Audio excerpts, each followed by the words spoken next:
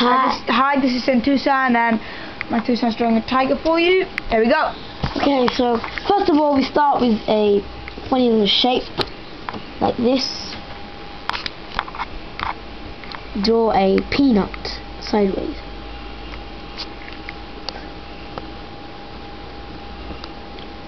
So, there's a mistake there. Make sure it's joined.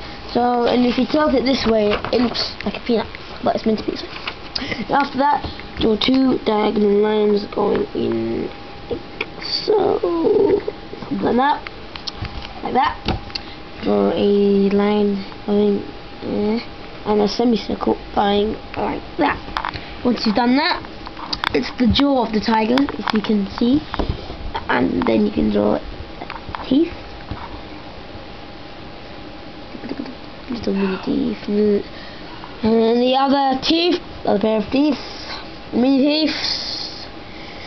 Draw the nose, that, and make sure there's these lines coming out, makes it more realistic.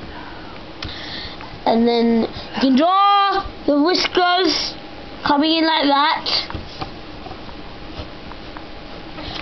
So that's the main jaw of the tiger, if you can see. And then, what do we need? We need the eyes. Okay? So we go line like that, and then come in like that, and then a semicircle, I guess. There we have one eye. Do the same again. They're not going to be the exactly same eye, but try your best because I'm not really good at drawing eyes. That looks like a pussycat, but don't worry. Uh, then you can see the whole head is the, is the tiger, so you need to draw um, some stripes. That.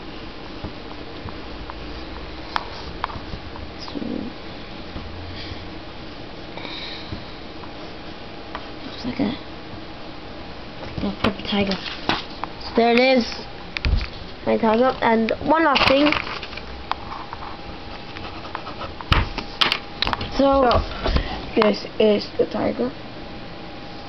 And get a nice close-up look right now.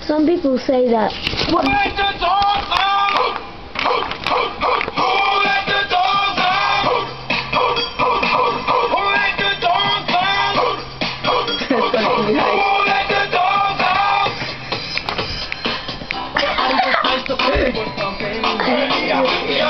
And everybody So thank you everyone for watching my video and I hope you enjoyed it. And the next time I'll be teaching you draw Sonic.